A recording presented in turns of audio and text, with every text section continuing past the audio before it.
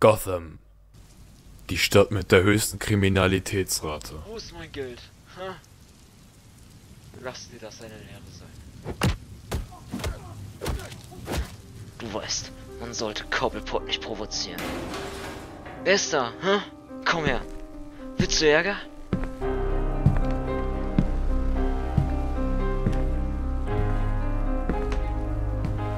Du lässt ihn in Frieden. Wer bist du denn?